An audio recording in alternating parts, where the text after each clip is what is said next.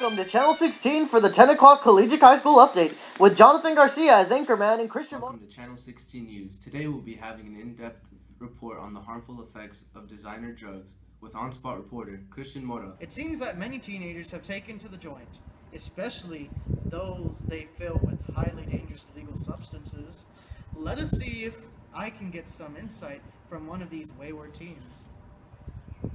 Hey, Are you aware that the legal marijuana you're smoking is very dangerous?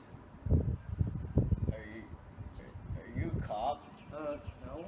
I'm a reporter. Sorry for not mentioning that earlier. Do you mind answering a couple of questions? Sure. Did you want to know? Well, did you know that over 11,000 ER visits were associated with synthetic marijuana? And synthetic marijuana prescription pain relievers were reported as the third and fourth most highly used illegal substances for teens.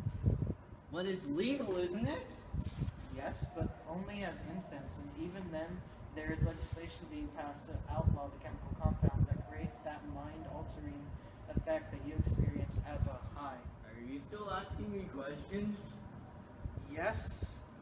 Are you currently using any other legal substances for a high? Uh, I don't know. Does taking Adderall to study for a test or Zoloft to relax count as taking illegal substances for a high? Yes.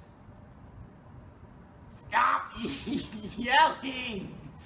I'm sorry. I've had a headache. Why didn't you say anything? I've got an aspirin right here in my pocket. Are you sure this is an Yeah,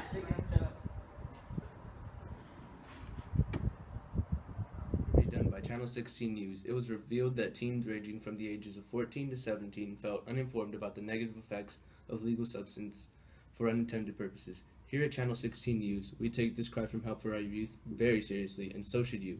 We believe that education of these legal substances and the danger that come with their abuse should be implemented in high school curriculum. For those of you who agree, go to your local school board meetings and petition for drug safety education to be added to your children's school curriculum. So from all of us at Channel 16 News, stay classy, Corpus Christi.